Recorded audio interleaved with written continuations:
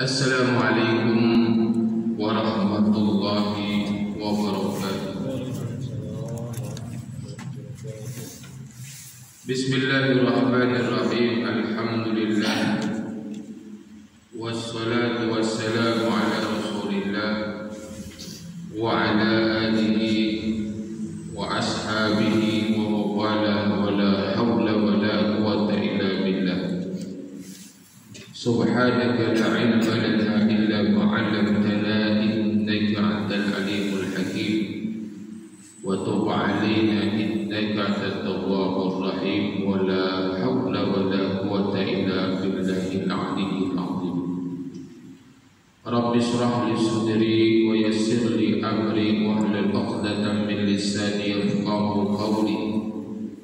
وسدد لساني واهدي قلبي بحق نبيك محمد صلى الله عليه وآله وسلم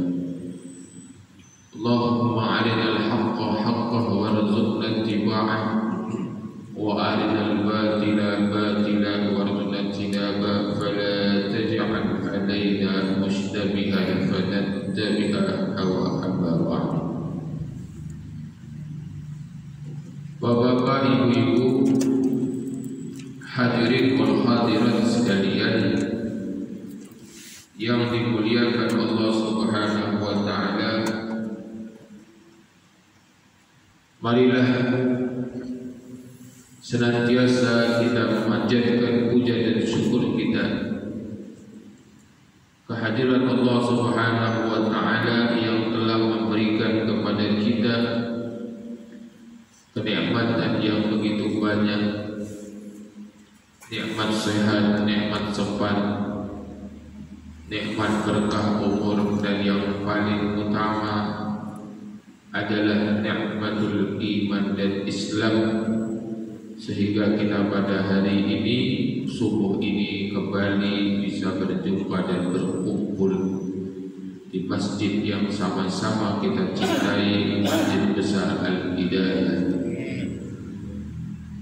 Kemudian juga perlu kita syukuri nikmat lainnya yang terkait dengan situasi kemerdekaan Republik Indonesia yang tengah kita peringati ini untuk kita bersyukur kepada Allah nikmat merdeka ini adalah anugerah yang diberikan oleh Allah Subhanahu wa taala dengan perjuangan-perjuangan yang panjang yang berat mengorbankan harta dan jiwa.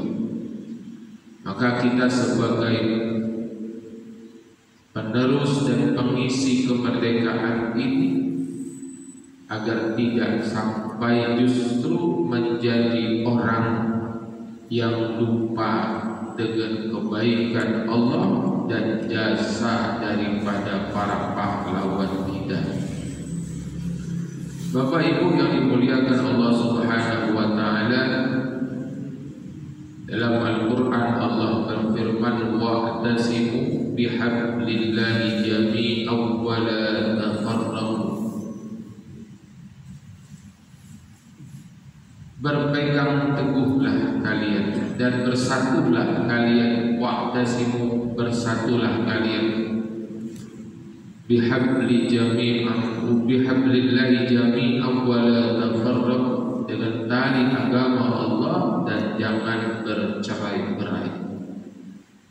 Persatuan itu penting kita jaga, kita pelihara dan perlu kita ingat bersama bahwasanya musuh kita adalah kemiskinan, musuh kita adalah kebodohan, dan musuh kita adalah kezaliman. Siapa saja yang berusaha untuk menjadikan kita masyarakat yang bodoh, maka dia adalah musuh kita. Siapa saja yang membuat kita miskin dengan berbagai macam cara baik yang sistemik maka dia adalah musuh kita. Siapa saja yang berbuat kezaliman, berbuat tidak adil, semena-mena, menindas, maka dia pun adalah musuh kita. Ini harus menjadi kesepakatan kita bersama dalam hal kita merawat kemerdekaan ini agar bisa kita wariskan kemerdekaan ini kepada generasi penerus kita bersama. Kemudian tidak lupa selalu kita berkirim salam dan salawat kepada baginda Nabi Yuna Muhammad sallallahu alaihi wa alihi wasallam yang telah membawa agama Allah ini untuk kebahagiaan hidup kita di dunia yang sementara ini. Amatlah hina seseorang yang hanya untuk dunia sementara ini dia mengambil sesuatu yang bukan haknya. Dia melakukan sesuatu yang tidak benar, maka sungguh dia lebih hina, dia lebih rendah dari kotoran yang keluar dari isi perutnya. Siapa yang mendahulukan hawa nafsunya, maka sungguh dia lebih hina dari kotoran yang keluar dari perutnya. Bapak Ibu yang dimuliakan Allah Subhanahu wa taala. Kita akan melanjutkan kembali kajian hadis kita yang mana alhamdulillah syukur kita sampai kepada hadis yang ke-37 yang mana Rasulullah sallallahu alaihi wasallam bersabda wa an Abi Sa'id wa Abi Hurairah radhiyallahu anhuma anin Nabi sallallahu alaihi wasallam dari Abi Sa'id dan Abi Hurairah. Semoga Allah subhanahu wa ta'ala meridhai keduanya. Bersabda Rasulullah sallallahu alaihi wasallam ma yusibu muslim min nasabi wala wasabi wala hammi wala hadni wala adha wala ghammi hatta syauka yusaquha illa ghafarallahu biha min khataya mutafaqun alaih tidaklah satu musibah yang ditimpakan oleh Allah Subhanahu wa taala kepada seorang muslim daripada rasa letih dan capek wala hammin daripada sakit wala hadanin dan daripada sedih wala ada dan gangguan wala ghammin kegundahan hatta syaukah sampai duri yushakuha yang menusuknya. Jadi apa pun perkara yang diberikan yang ditimpakan oleh oleh Allah kepada seorang muslim apa pun juga. Sedih susah capek letih, pening, sakit, sampai-sampai kita tertusuk duri, illa kafarallahu biha min khatayahu kecuali dia mendapatkan ampunan dari Allah atas dosa-dosanya. Jadi persoalan-persoalan yang tidak menyenangkan hati, pusing kepala, sakit, sedih, apa pun juga dari hal-hal yang tidak mengenakan. Saat dia menghadapi itu dengan kesabaran dan isab, kemudian berharap pahala dari Allah Subhanahu wa taala, dia yakini ini adalah merupakan satu ketetapan yang telah ditetapkan oleh Allah maka dia mendapatkan ampunan Allah semasa dan selama dari hal itu dia rasa rasakan. Jadi jangan sedih, jangan kecil hati. Ketika ada masalah yang bikin kita penting, itu salah satu bentuk daripada perhatian Allah Subhanahu wa taala kepada dirinya. Kemudian dengan sebab itu pun Allah berikan pahala dengan mengampunkan daripada dosa-dosa. Diberikan oleh Allah ganjaran. Diampuni dosa-dosanya oleh Allah Subhanahu wa taala. Jadi jangan kita kecil hati. Eh, kalau ada masalah jangan kecil hati. Kalau ada hal yang membuat kita susah jangan kecil kecil hati. Kalau lagi gundah segala macam jangan sampai melampaui batas. Berdoa kepada Allah. Minta pertolongan kepada Allah. Ya, ada satu salawat ini ya, yang selalu kami amalkan di pondok. Allahumma salli ala Muhammad Allahumma salli alaihi wa sallim Allahumma salli ala Muhammad Allahumma salli alaihi wa sallim Allahumma salli ala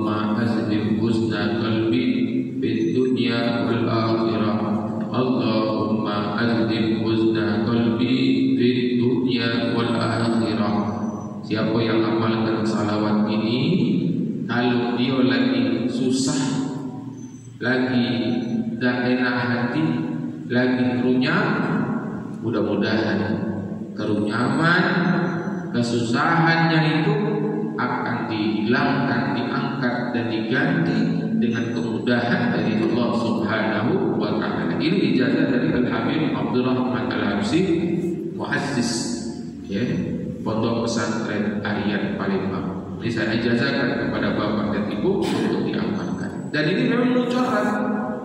Saya sering mengamalkan ini kalau lagi pusing-pusing, ya. Lagi ada hal-hal yang berat yang tidak mengenakan, baca.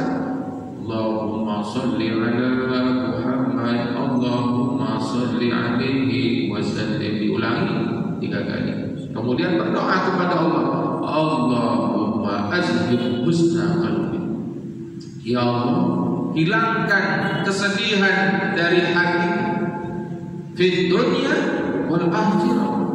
Baik itu ketika di dunia ini di dunia ini yang sementara ini kan banyak hal-hal yang bikin kita susah yang bikin kita sedih minta dihilangkan oleh Allah Subhanahu wa taala dan juga termasuk perkara yang lebih berat yang lebih serius yaitu akhirat. Allahumma azhib husna qalbi fid dunya wal akhirah. Ya Allah hilangkanlah kesedihan di hatiku baik kesedihan dunia ataupun kesedihan akhir akhirat insya Allah kalau dihafalkan ya kesedihan-kesedihan tadi cepat diangkat oleh Allah Subhanahu wa taala. Bapak Ibu yang dimuliakan Allah Subhanahu wa taala. Kemudian dalam hadis yang selanjutnya Wa'id bin radhiyallahu ta'ala. Qala dakhaltu 'ala Nabi sallallahu alaihi wa alihi wasallam. Wa 'an Mas'ud radhiyallahu anhu qala dari Ibnu Mas'ud semoga Allah Subhanahu wa taala meridhai keduanya berkata dakhaltu 'ala Nabi sallallahu alaihi wa alihi wasallam saya masuk ke rumah Nabi Muhammad sallallahu alaihi wasallam wa huwa yu'ada yang dia dalam keadaan sakit. Fakultu maka saya katakan ya Rasulullah innaka tu'aka wahkan syadidan. Wahai Rasulullah, engkau ini dalam keadaan sakit yang berat. Qala ajal inni u'aku kama yu'aku rajulani minkum. Benar, sesungguhnya aku ini sakit sebagaimana kalian sakit, sebagaimana engkau sakit daripada dua orang laki-laki dari kalian. Jadi rasa sakit yang dialami oleh Rasulullah itu lebih berat dari apa yang kita alam alam bandingannya sakit Rasulullah itu sama hal dengan dua orang dari kita yang sakit luar biasa. Ya, ujian yang diberikan Allah kepada nah nabinya. Diberikan rasa sakit lebih daripada orang sakit biasa. Jadi dua orang kita sakit itu dirasakan oleh Rasulullah Rasulullah sendiri. Inni aku kama yu'aku rajulani minkum sesungguhnya aku ini sakit sebagaimana sakit dua orang dari kalian jadi dua orang dari kita itu dirasakan sendiri oleh Rasulullah Shallallahu Alaihi Wasallam. Zalika anna laka ajraini. Oleh karena itu, sesungguhnya bagimu apakah dua pahala? Qala ajal.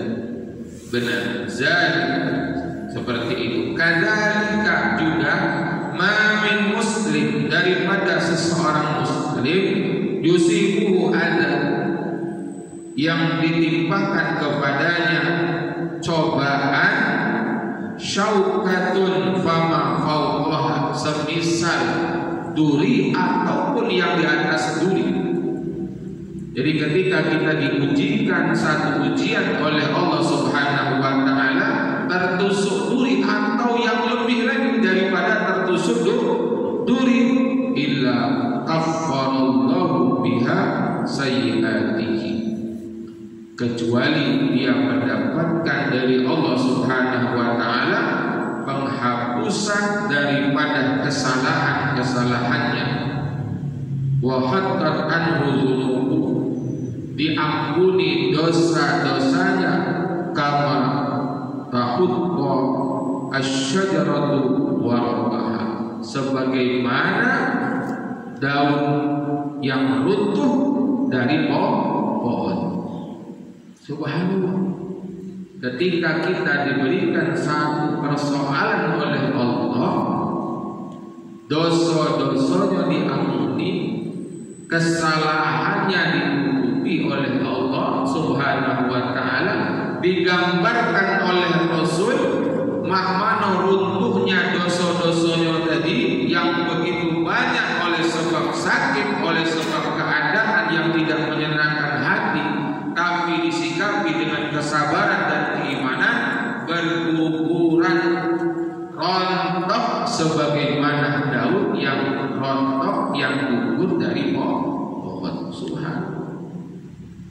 Bapak Ibu yang dimuliakan Allah Subhanahu wa taala. Kemudian hadis yang selanjutnya wa an Abi Hurairah radhiyallahu anhu qala Qala Rasulullah sallallahu alaihi wasallam man yuridillahu bihi khairan yusib minhu dari Abi Hurairah semoga Allah meridhoinya. Berkata bersabda Rasulullah sallallahu alaihi wasallam man siapa? Yuridillahu bihi khairan di kehendaki kebaikan oleh Allah. Allah menghendaki kebaikan itu datang darinya. Maka apa yang akan diberikan Allah kepadanya Yusuf minhu dia akan diuji ditimpakan ujian kepadanya. Jadi itu adalah salah satu bentuk perhatian Allah. Ketika Allah menginginkan kebaikan-kebaikan yang banyak daripada si bulan ini, maka dia diuji oleh Allah, ditimpakan musibah oleh Allah Subhanahu wa taala.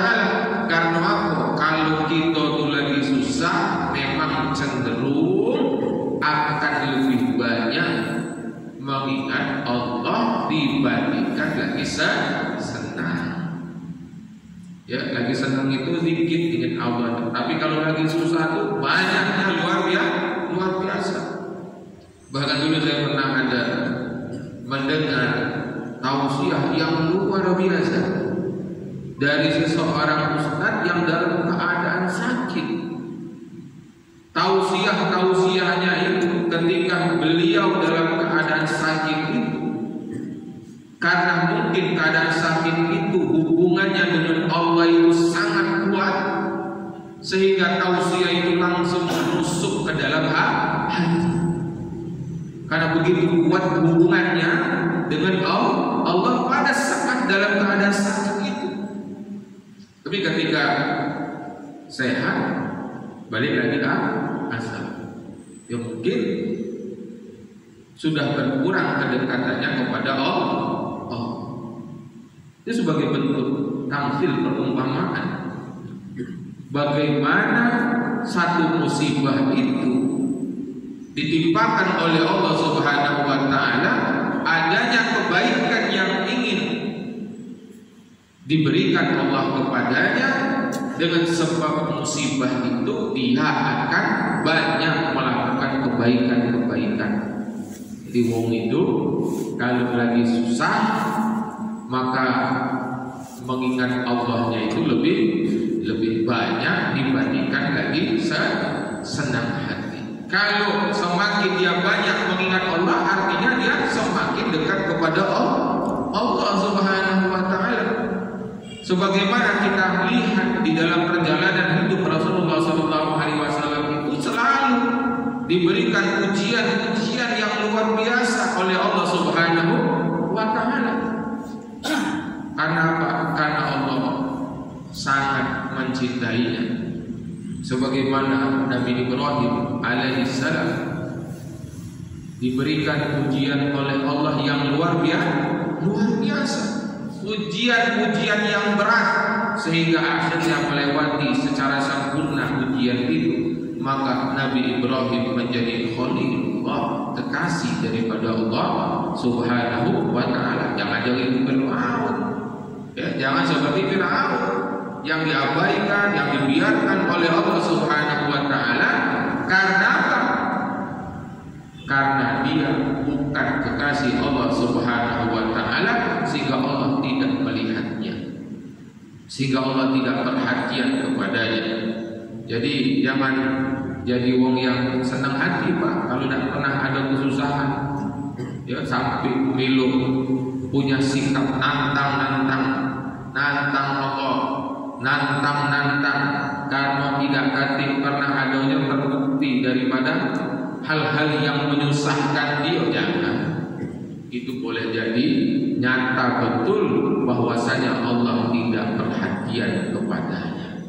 Jadi ulama-ulama salaf kita itu ketika mereka mendapatkan diri mereka tidak lagi mendapatkan perhatian nasrul min Allah perhatian dari Allah mereka susah Ya, mereka su susah, gelisah. Kenapa ini? Tidak ada lagi bentuk perhatian dari Allah, ada kesenangan, dibiarkan sampai jauh. Ya, ada kesusahan, ya, kemudian dibiarkan juga. Maka ulama-ulama salaf itu kalau kita baca sejarah kisah mereka dalam kitab-kitab tasawuf mereka bereaksi Kenapa Allah ini kasih perhatian dengan saya? Tidak ada bentuk nasruh daripada Allah Subhanahu wa taala. Wa taala itu ulama dulu begitu. Nah, kalau gitu kan tidak ya semau maunya sekendak-kendaknya baik. Ya, hidup ini tidak kasih makna dan kasih arti apa-apa. Ya, sesuai dengan kemauan dan kehendak hawa hawa nafsu akhirnya meninggal dalam keadaan tidak membawa apa-apa. Dakati apa?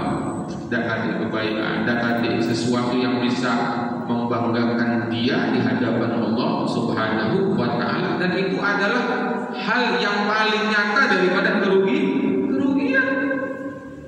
Ya, kalau Bapak Ibu yang dimuliakan Allah Subhanahu wa taala tidak berharta di dunia ini tidak masalah sebenarnya.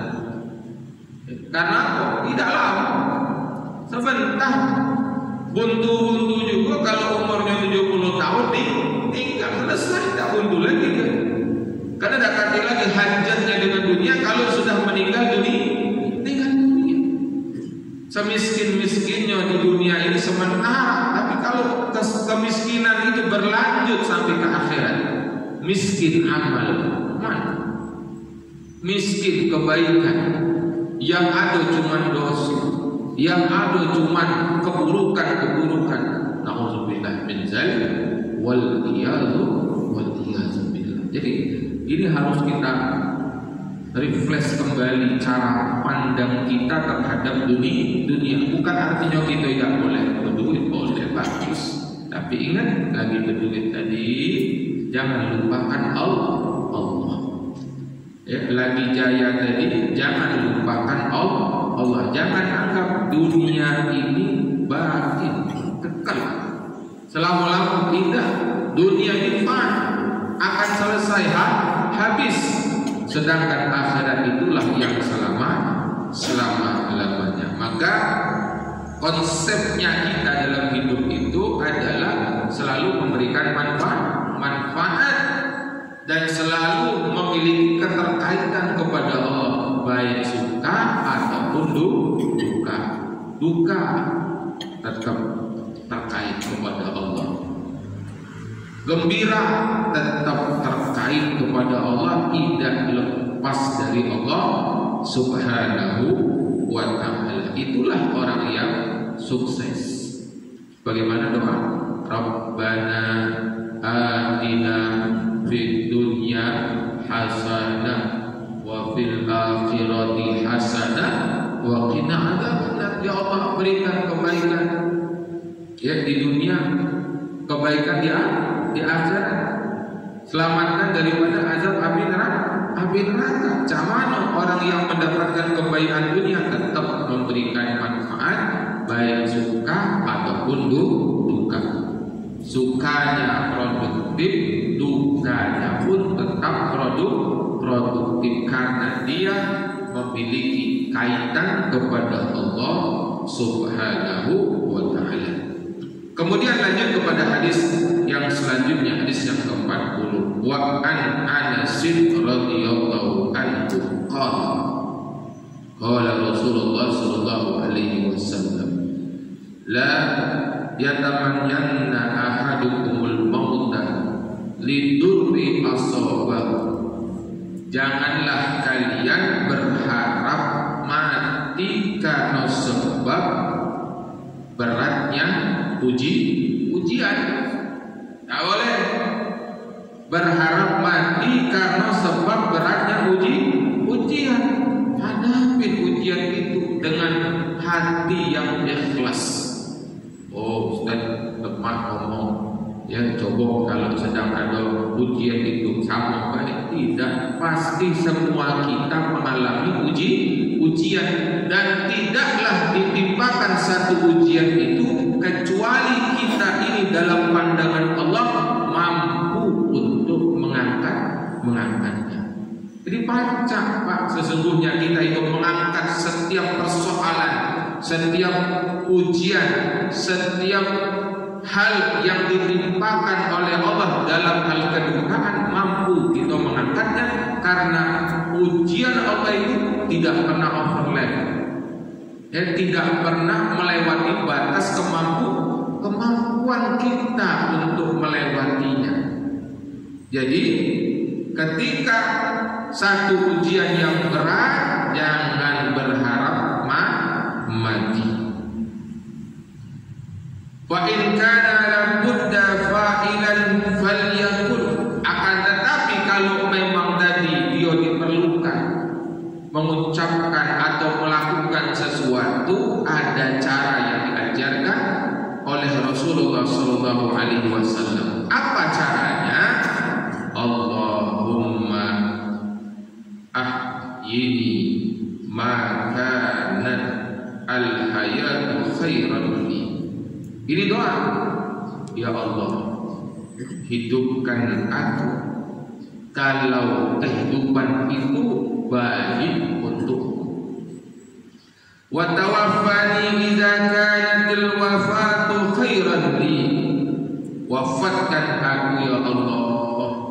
kalau wafat itu baik untuk untukku. Ketika pada masa kritis, masa berat yang luar biasa itu di antara dua pilihan maka tetap pilihannya diserahkan kepada siapa? Kepada Allah. Allah. Jangan kita yang pilih. Ay, matilah, matilah, mati, mati, mati. Jangan. Alhamdulillah. Mencari tak ada kebaikan. Maka berdoalah kepada Allah. Ya Allah. Bila mana kehidupan ini baik untukku, maka hidupkanlah aku. Artinya tidaklah kebaikan kebaikan tapi bila mana meninggal itu baik untukku maka wafatkanlah aku. Artinya dia wafat pun di dalam kebaikan, kebaikan tidak keluar daripada kebaikan.